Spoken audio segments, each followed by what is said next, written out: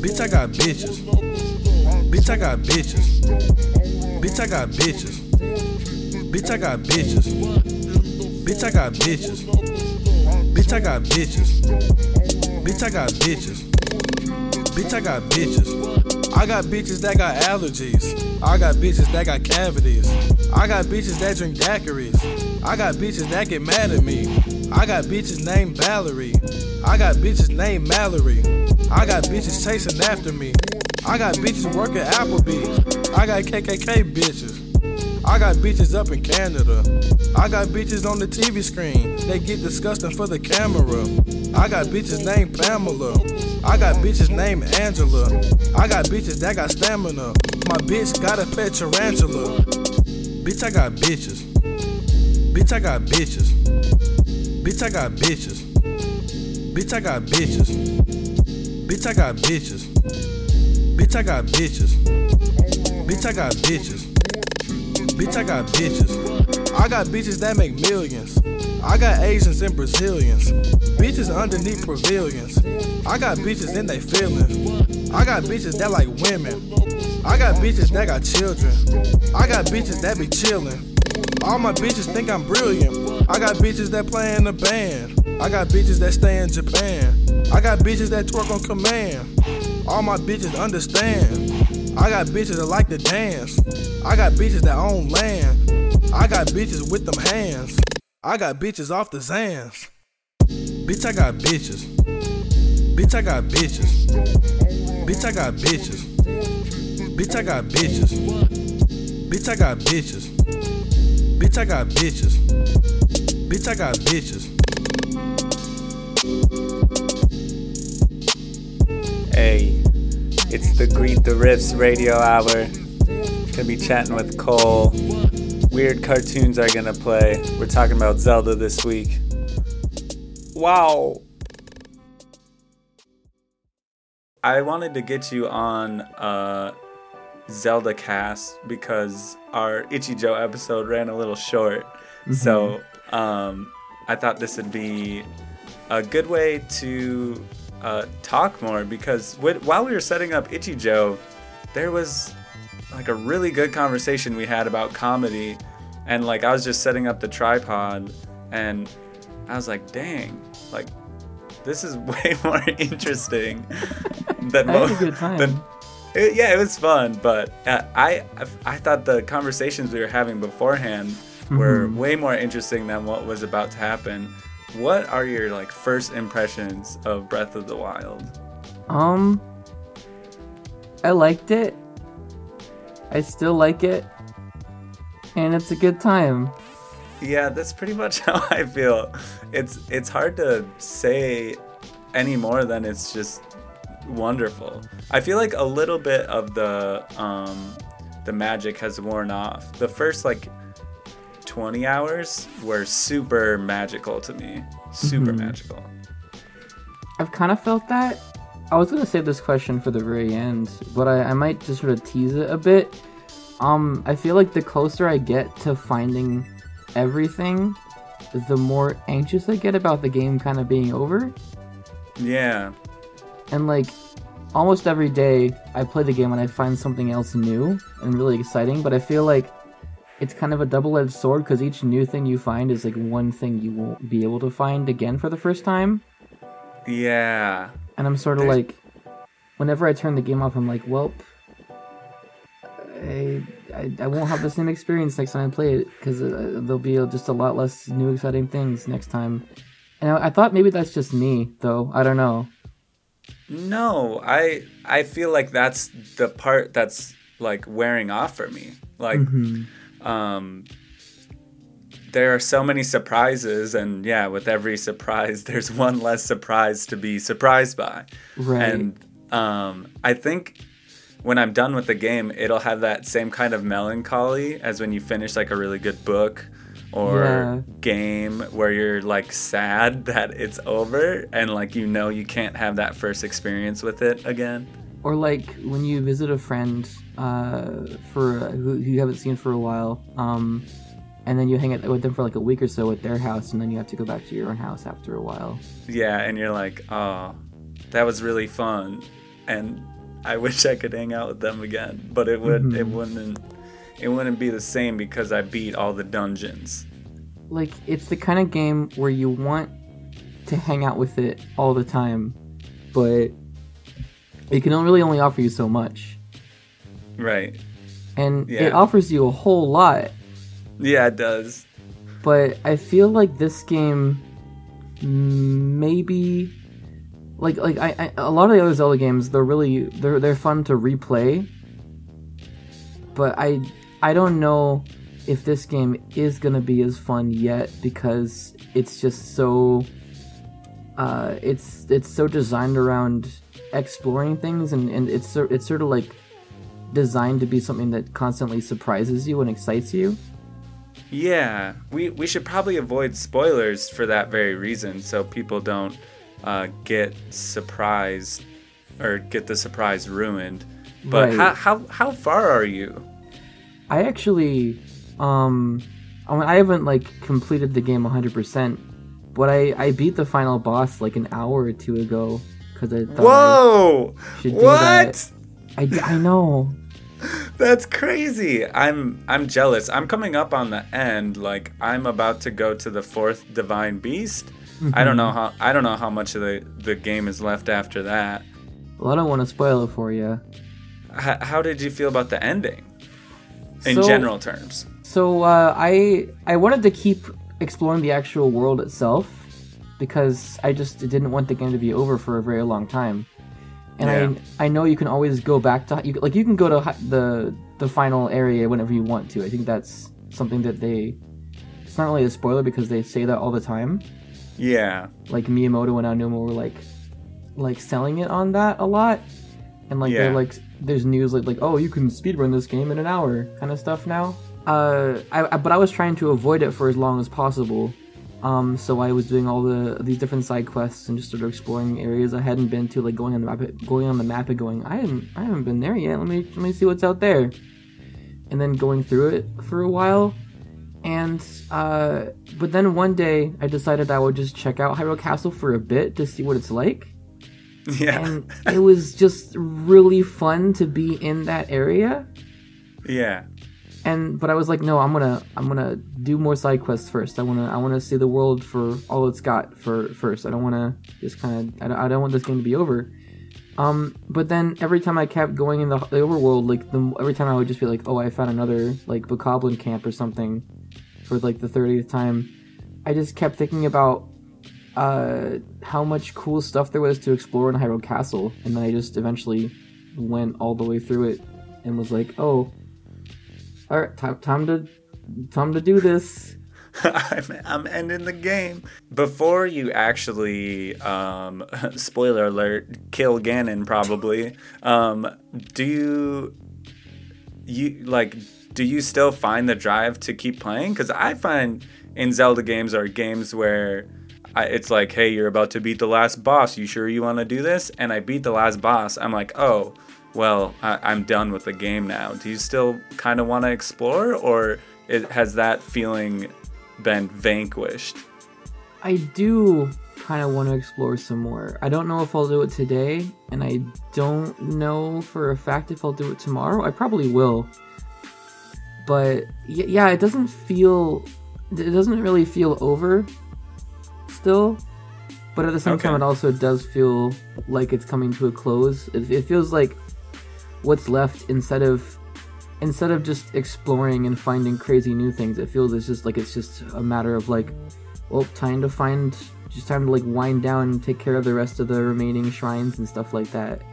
I feel like the whole excitement of going to shrines and stuff for me is that I'm like constantly building Link up. Like Mhm. I'm getting more stamina, more hearts, and I feel like if I beat the game's ultimate goal, I might not want to keep beefing up Link. But I don't know. Maybe I'll see once I get there. But um, I feel like this is the first time that a Zelda game has really like let a lot of influences into its design. Like Mhm.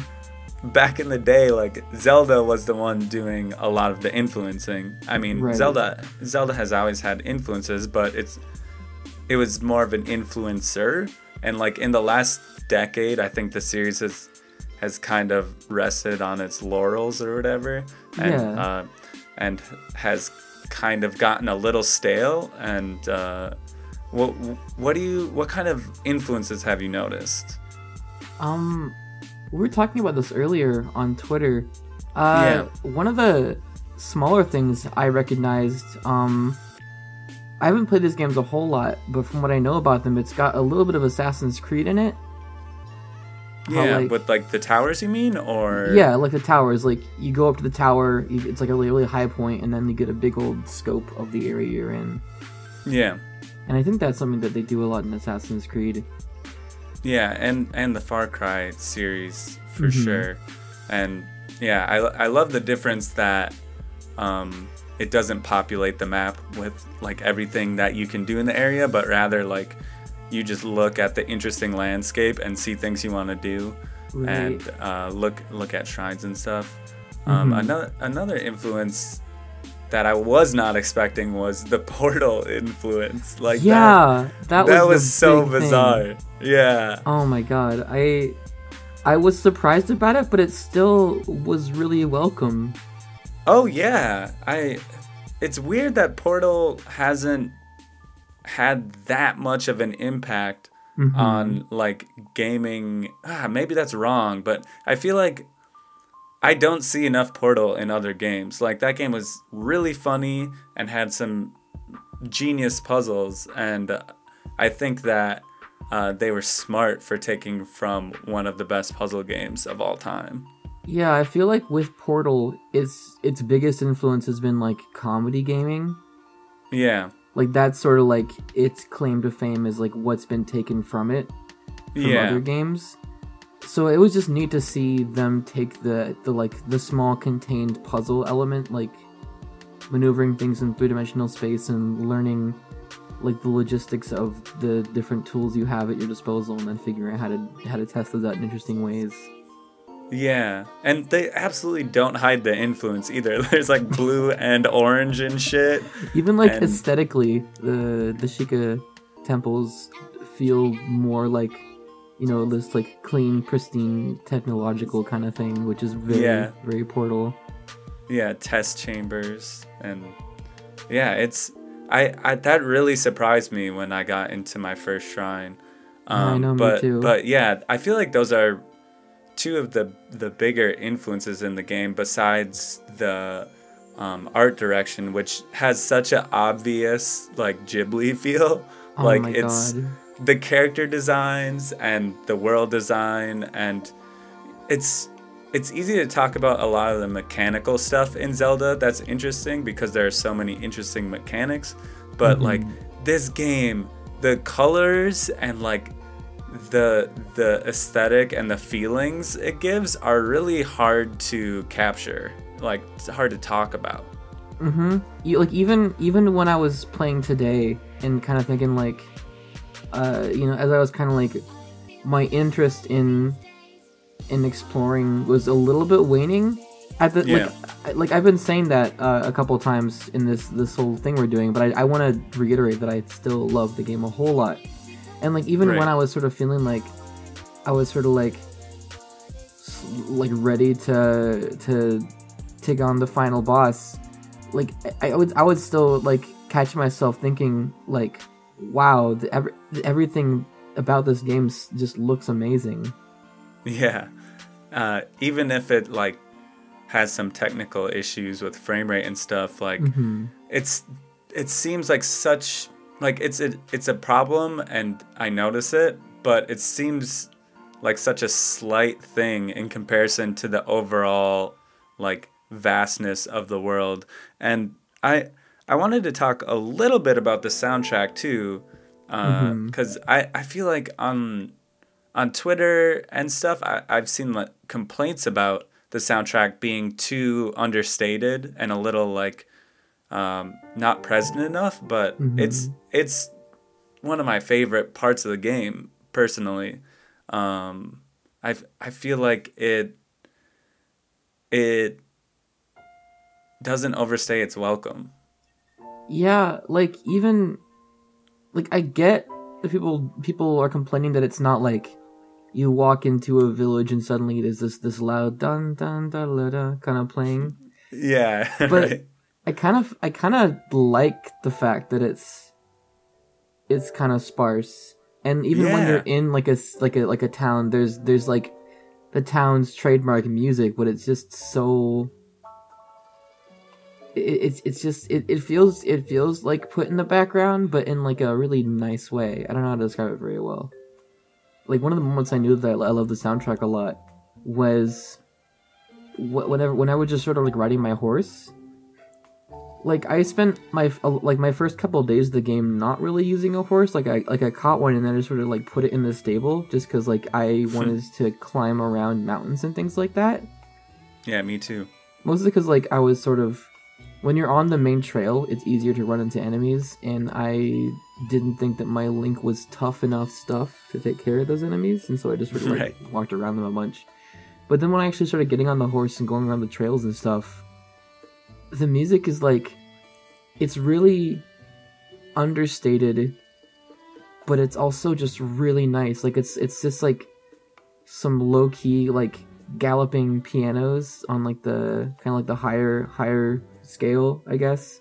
Yeah, And then like like the further you get on and you're on your trek, like they, they start like throwing in some like some like violins playing Zelda's lullaby. yeah, yeah. And it's just it's just real nice. Yeah, um, I would compare it to like Animal Crossing, and the vibe of the game surprisingly has a lot of scoops of Animal Crossing in it too. Like, uh, just the the kind of uh, restfulness of it. Like, it's it's a it's a hypnotic and relaxing game, which I Mhm. wasn't expecting, and and the music helps out a lot with that, and um, it when I went to the Ghibli Museum for the first time, they play a really sh- like short film that was about a boy and this rabbit and uh, it, it, it looked very watercolory and I don't know it looked like the distillation of a childhood. And Right. everything that the characters were doing was incorporated in the music. So like a character steps it'd be like rimp bump rimp bump rimp bump. And Right. um and it was a really cool short film. And one of the girls that was on on the school trip uh, with me who went to the museum like cried after it and said like it reminded her of like why she loves film. And That's i really feel like yeah i feel like zelda captured some of that like with the the cooking uh, tune which like basically has a bunch of utensils playing on pots and pans. Yeah. and it's like punctuated with a steaming kettle like whistling. And like it it it feels just as much a part of the environment as the grass and the trees and stuff. Oh man, speaking of the sound effects of like cooking, I I love when you have like a full like a like a set of like arm like you're like you have got like a shield, a sword, and bow, and you like just run around. Like that clacking sound is really nice too. Yeah, yeah. It's it, the game sounds great in every department. So there are all these like tens being thrown around. I don't I don't remember if it's still at like the top of the Metacritic stuff. I don't think it is, but it Mhm. f- it was getting like crazy reviews and you know, I I don't think it's a a perfect game, but I was Right. curious, do you have any like criticisms that like stick out to you after pretty much beating it? I mean, my complaints. I think I kind of already aired them out in the beginning of this thing, which Yeah. I feel like I probably should have saved it for later and like compliment sandwich this game a bit more. But, Yeah. like that's sort of like my big complaint is just that like it its biggest strength is that there are just so many crazy surprises, but once you've sort of seen all the surprises, it doesn't feel as exciting to play. Right. Even when it's not like exciting to play, I think when you mentioned Animal Crossing, it really resonated with me that it is it's still just a game that you can play like Animal Crossing. It's still like it's this crazy Zelda adventure game, but it also has this just sort of like chill vibe to it. Yeah, totally. where you can just sort of pick up and play it uh, just a couple times a day if you want to, and, and just you know just like do one or two temple or trials if you want to, or just explore this new little like this new little like enclave you hadn't seen before, or just like get a couple more resources to upgrade your your armor or whatever. It, it's it's got it's got this weird thing where you just want to just kind of keep keep picking it up every once in a while and playing it some more, Yeah, um, which isn't I really a definitely complaint. feel that too. No, that's not a complaint at all. Um, I I feel like my my main criticism is definitely the uh, the motion controlled shrines, which I think people have talked about at length. But oh my god. those those are not not even like mediocre like they're they're bad like they're trash i get so mad when they don't work right That actually And- reminds me of something really fun. I, I had a lot of fun with one of those ones. what'd you do Um, so you know, did you do the one where it's like a motion control like maze, kind of like? that's the one monkey it set one? me off yes Oh it my set God. me off I love that one because Uh-huh. what I did was I just turned my controller upside down and there's no maze under it. and I sort of flipped it like that. That is so great. Like, I wish I would have thought of that, but I was playing it in handheld mode, so I was looking at the screen. Oh, so I, okay. I couldn't control the, I couldn't flip the whole switch upside down because I couldn't see the screen then. Oh man. But I, I actually do love that you can cheese a lot of the shrine puzzles and do Mm-hmm. ridiculous things. Like sometimes I, I solve puzzles and I'm like, I'm pretty sure I overthought that. I don't think that's how you actually solve that. Right. That I've done that with like a one of the bosses too. Like I my friend told me he had a really fun time with this one boss in like this optional boss in like the desert area. I'm not going to say anything more than that. Um, Okay. And then I asked him how he beat it and he was like, "Oh, you just do this this and this." And I was like, "Wow. That sounds fun." I just sort of like spammed my like high level attacks and then just healed myself a bunch and but, but got hit a lot which is kind Oh. of cheesing it. But Yeah. there's like multiple ways you can tackle almost anything, and some of those ways are just brute, brute force it. Really, Yeah. Yeah, I, I've definitely brute forced a few things. Um, a few of the the trials where you have to fight a hard enemy. I've I've fought him underleveled.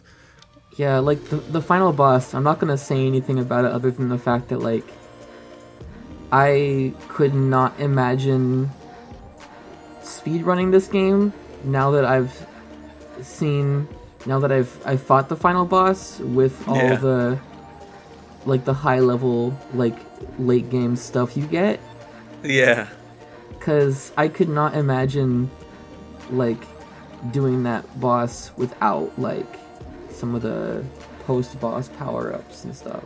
Reminds me of like people playing Dark Souls 100% naked and like just using like a club. It's like what are you doing? How can you do this? Just love Uh, yourself. right? Um, speaking of naked people, um, hmm I, I feel like uh, this is debatably one of one of the best Zeldas, but Right. I don't think that there's any debate that this is the horniest Zelda game. Um, uh, yeah, Oh wait, is there a hornier Zelda game? I'm trying to think, and I, I don't think so. I don't think so. Well, o- Ocarina's kind of horny. They have some very sexy fairies and Right. um and there's like two there's kind of two love interests, I guess.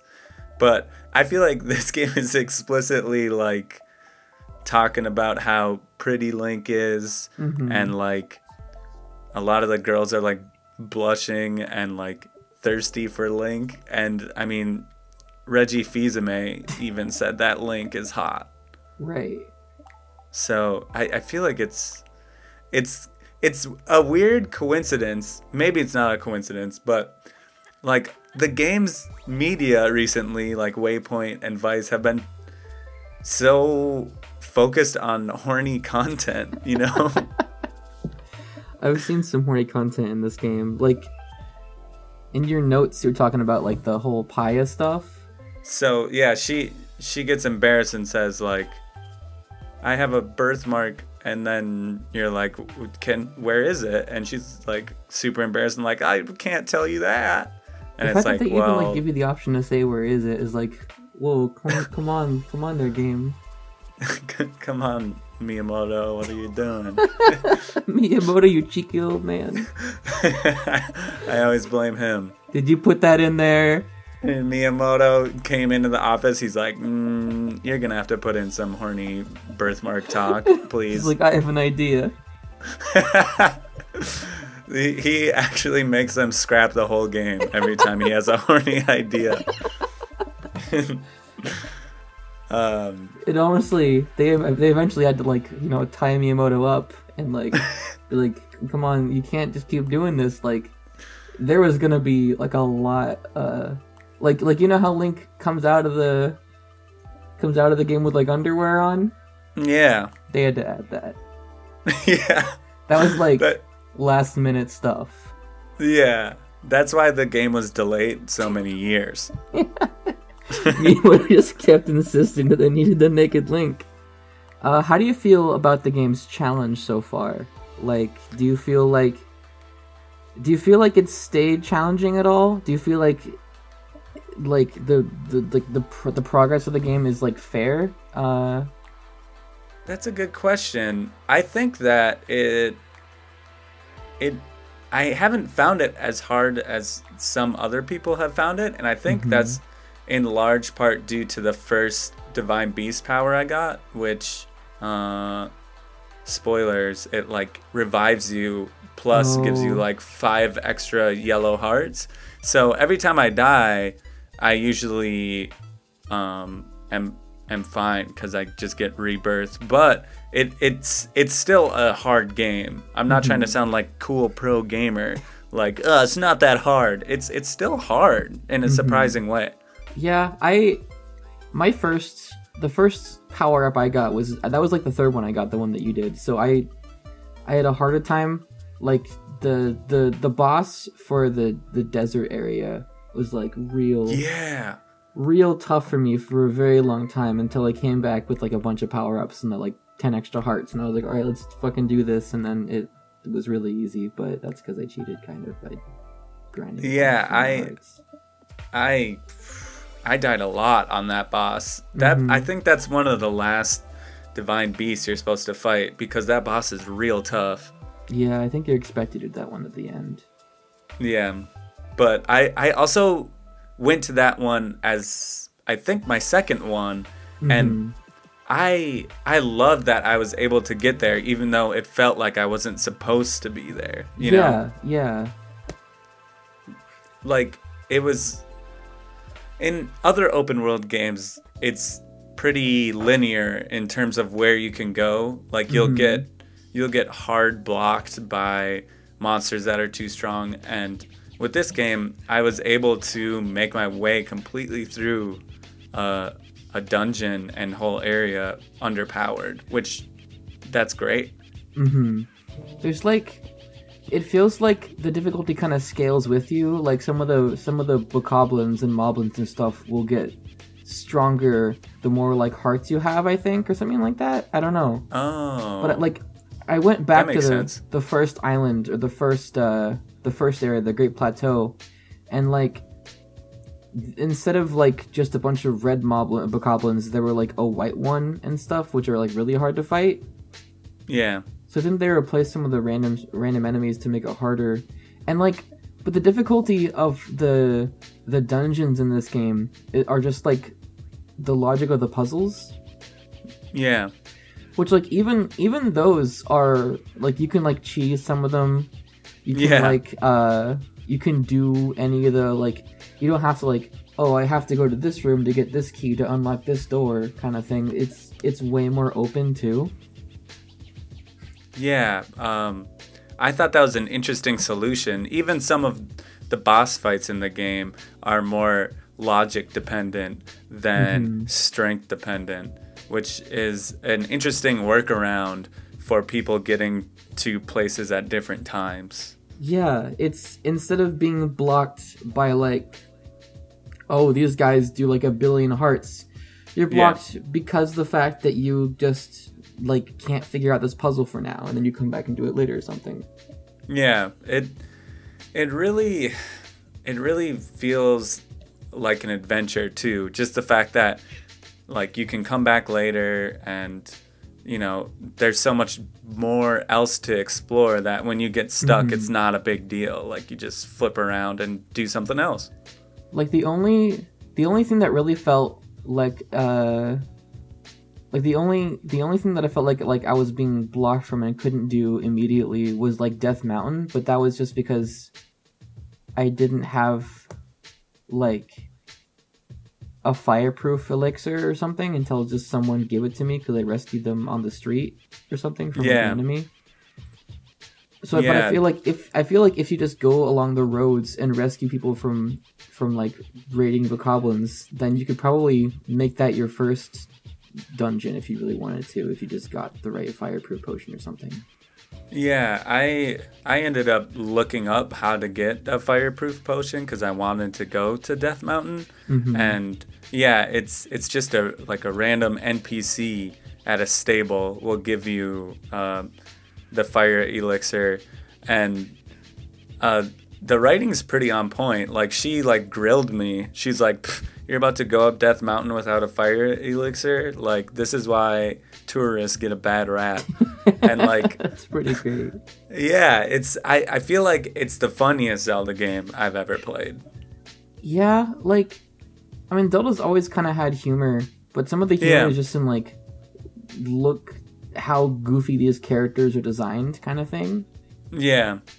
Like Twilight Princess, some of its humor was just sort of like in the aesthetics of some of the the NPCs. Yeah, yeah. But this is like it's got some really clever writing.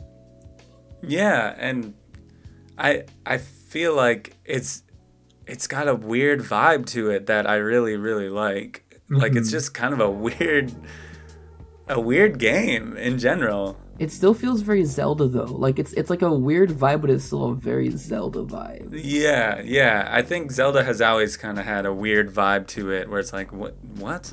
hmm Honestly, a lot of the characters, it feels like they speak to like like the character designs and then like the what what personality we see of them, kind of like they speak to to like story beats and character beats you've seen before, but in a charming way that doesn't feel redundant. It just feels like yeah, this is this is good. This is a good time.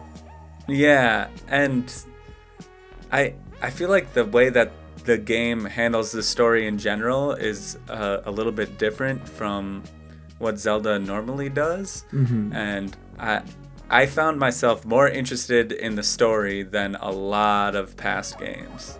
Yeah, I dig the story. Like I,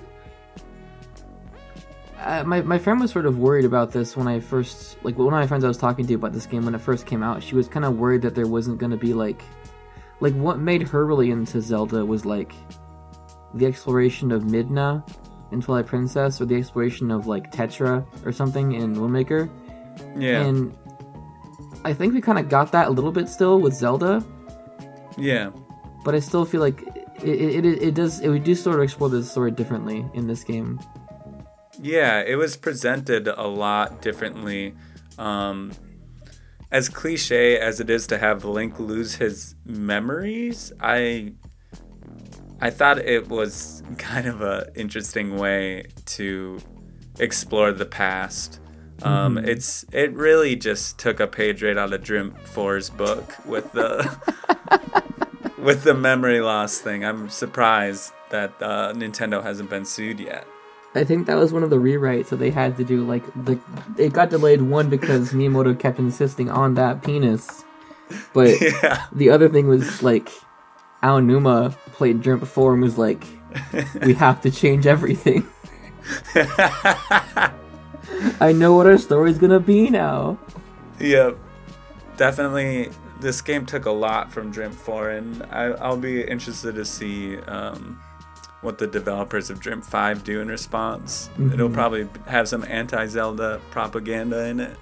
Or maybe Jump Five is just gonna be like an open world game. Oh shit, that'd be so great. Oh, climb that'd up be mountains. amazing. Just climb up Who- hell too. Yeah, who knows? I don't know. Who does know? Only Drimp himself. Have you interviewed him yet? Interviewed Jump yet? No, it'll happen. He's a hard dude to get a hold of. I got another question for you. I think if I can, I wrote like a lot of different questions here. Sure, yeah, shoot. I wanted to know how you felt about the combat compared to the previous Zelda games. Um, I, I feel like the combat is getting praised uh, quite a bit. I, I like what they introduced. I like that there is a, a parry now and that you're rewarded for doing a well timed dodge. Um, in general, I enjoy the combat and I think it's fun. Uh, I'm surprised how much of it is still left over from Ocarina. Like, it still feels kind of like Ocarina to me. Yeah. It's it's a lot faster than Skyward Sword, which I love. Like in Skyward Sword, a lot of it was sort of like waiting for enemies to move their their sword in a different direction or something like that. So I'm glad they moved away from that, moved away Yeah. from motion controls. Um, I think it was cool that like so one complaint I had with Twilight Princess was that like you got all these cool moves and stuff, uh, Yeah. but they were all optional, and so you could beat all the enemies really easily by just sort of slashing your sword a bunch instead of like implementing all these cool moves. But it feels like some of the things like parrying, which I barely ever did, but I'd still I wish I did more. But things like uh, dodging and the flurry attacks and like uh, shooting enemies in the head. They're Yeah. they're almost like invaluable assets sometimes with some of the the harder fights in the game. Yeah, and that headshot noise is so good. Mm-hmm. It's like, "Ting!" It's real And it just- yeah, it's super satisfying. It's such a a great game. Does it justify a, a Switch purchase for you?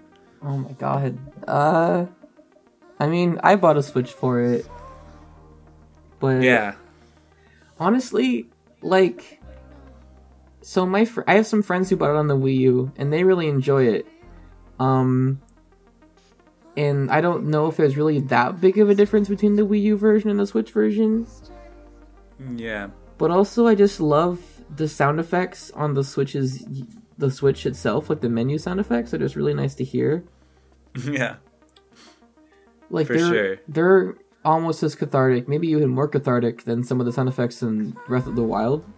Yeah, And so like I don't know, I'm really excited for the Switch, honestly. Like it's just its presentation is just so sleek and nice and I'm looking forward to some of the games coming out for it. So yeah, I think so, but also I don't know. yeah. I would say if no more games ever came out for it, uh, it would not be worth it. But I think that that new Mario is going to be kick ass. I'm really excited for that game, and I already have a tiny little library of launch games that I'm really enjoying, like Breath of the Wild, Puyo Puyo Tetris, and uh, Voez, the Huh. rhythm game, is actually surprisingly good. I'm waiting out on Dandara mostly. Yeah, Dandara looks awesome, and I I am really looking forward to the indie games on the on Honestly, the platform. Those look really fun. But yeah, also Mario Odyssey looks really fun too. I make it Splatoon 2. I might. Uh, let me know when the test fire is going on if you want to play, because I would really like to. Yeah. That would be awesome. I'm looking forward to, like I don't know. I I'm I'm optimistic about it, I think. Me too. I feel good about it. Um, I hope Nintendo really puts their their back behind it. It seems like they've done a good job uh, with getting it out there with Zelda. Yeah, I feel Uh, like if Zelda hadn't come out the same time the Switch did, I probably wouldn't have got the Switch. I probably would have just got, you know, not the Switch. Yeah, like a, a sandwich. A good old S Switch, you know. yeah. They call them down in Cali. Call them the Switch. Yep. Give me a ham and cheese switch, please. Give me a Switch with some Ava, some Kato. some Ava and some Kato, and I'm good to go, baby. So we say here in California. We say Ava, we say Kato. That's it. That's all I want. Bread and some Ava and some Kato. That's all you need. In fact, keep survive. the bread. I'll take the Ava, I'll take the Kato. That's it. And then you just skateboard away. Yeah. Um, I assume everyone skateboards in California. We surf a lot of the time too. yeah, that's just ground surfing right Depends there, on where you're it? from. Like sometimes we don't like use wheels. We just sort of like take the wheels off of our skateboard and just sort of like surf down. You know, Like Silver too. Surfer. Yeah, something like that. We're just all Silver Surfer. I really love California. I've only been there once, but I I wanted to live there at one point. I dig it. No, but you know how like in Breath of the Wild, like all the different races are sort of compartmentalized into their own like area. Like there's some mix up. Like sometimes you'll see a Goron in like the Gerudo area, but generally it's Yeah. sort of like this area is for Gerudos, this is for Ritos, this is for Zoras, etc. Yeah. Uh, all Silver Surfers are in California. That's sometimes you'll see, you know, a random Minnesotan walking Mm-hmm. around, but for the most part, it's everyone just floating on silver surfboards. Yeah, that's what we do here. Uh, well, I, I think that does it for our Breath of the Wild chat, unless you have anything else you want to add. I had one more question. Sure. Well, sort of like I guess two. Um, the first question is, did you get any of the amiibos at all?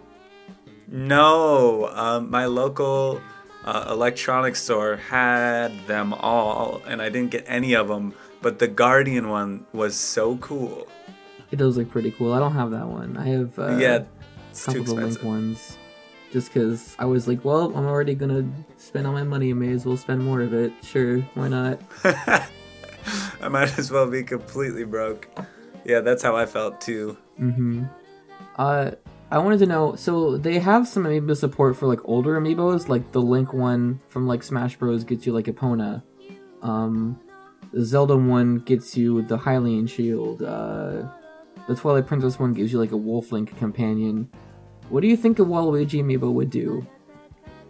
Well, I think it would definitely give Link some purple spandex that are just slapped on real tight on that on that bod. Real tight. Uh huh. And um, I think that it would unlatch a secret part of the switch that just lets out a, a stank to it, so you can so you can really get that Waluigi smell while you're playing with your Waluigi costume. Like they didn't tell you. Uh, they talked about the HD rumble. They talked about the motion Yeah. sensors and stuff. They didn't talk about that secret little scent nozzle. like blast some Waluigi scented Cheetos in your into your face kind of thing. They would call it that too. The Nintendo smell nozzle. No scent nozzle. Yeah, that's that's a good name. Just flavor blast some Waluigi into your nostrils. Yeah, that was also Miyamoto's last minute inclusion. That's why it was delayed.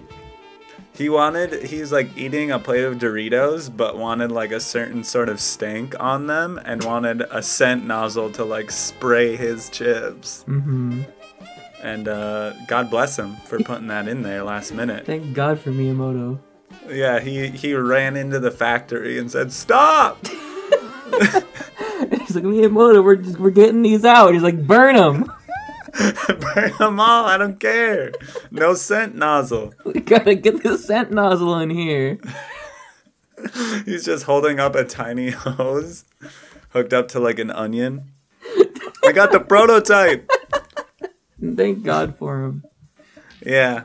I Uh, I also like uh, when you put the Waluigi amiibo in there, how like you get that scent nozzle, you get that tight, tight purple outfit. Yeah. You also all of Link's like ho kind of noises whenever he jumps and stuff are replaced with just wahs from Charles Martinet himself. But somehow it disregards the volume level of your system and it's super loud. Like it wakes up your whole family. Like let's just say that your TV is at like thirty percent, Yeah. The wahs are always at 100 no matter what. Yeah, it's a hard lock on a 100 and it sounds super distorted. It sounds like he's in some weird cave. yeah. And uh, uh, your neighbors are calling the cops because this strange noise is coming out. They can smell something too. yeah, there's some some weird purple smoke filtering into their window. Yeah, the weird thing about the scent nozzle is like, not only can you not turn it off, but every single time the wah noise happens, it just kind of like it goes up in intensity. yeah. Like the smell just keeps getting bigger and bigger, and you know, smellier and smellier. Yep. And your switch keeps getting hotter and hotter, and the vents are just screaming. Your windows are just locked now. yeah. Yeah, it's like a smart house functionality to like lock you in, so it just hot boxes you with that Waluigi stank. Yeah, the switch stands for the fact that it's an inverted L. You like you switch the L around so it's upside down. the the slitch, Nintendo slitch. I hate that word. Yeah, that is a terrible. Switch. I'm gonna go ahead and apologize. No, I think Uh, you're fine. I think that Miyamoto should apologize. Honestly, if anyone should. Yeah, for putting in that that secret functionality that nobody wanted. I mean, I didn't really want it, but now that it's here, I'm pretty grateful for it. yeah, I didn't really want it, but I needed it. Yeah, I did need it. I did need it. Um, well, thank you for chatting with me again. I'm Yeah. sorry we we cut our, our other episode short, but now I think this this makes up for uh, the Cole quota of our channel, which was dire, direly low. Yeah, I kind of felt that. Like when I watched the first ep- couple episodes of uh, of your show, that I have a hard time saying. Sometimes I kind of like, whenever I say "Get the Number for Kids," I kind of like mumble over it. So sometimes I'm just gonna say your show, and I thought it's really good. Like I Yeah, really enjoy but- it. but it needs some more Cole content on there. You know what would make the show better is if I was in it. I, I didn't want to say, but I always kind of thought that. Like it just needed a little bit more Cole in it. I don't know. like there's just one fatal flaw. Well, it was it was it was real good chatting with you. I'm mm-hmm. glad it's such a, a fun game and that we both have it and we're alive on this earth. Honestly, I'm glad to be alive because I love Miyamoto. I love Breath Yeah. of the Wild. I love Waluigi. Yeah, And that's it. That's all I need. that's all you need. Rest in peace, Waluigi. We miss ya. Come back. come, come back, please.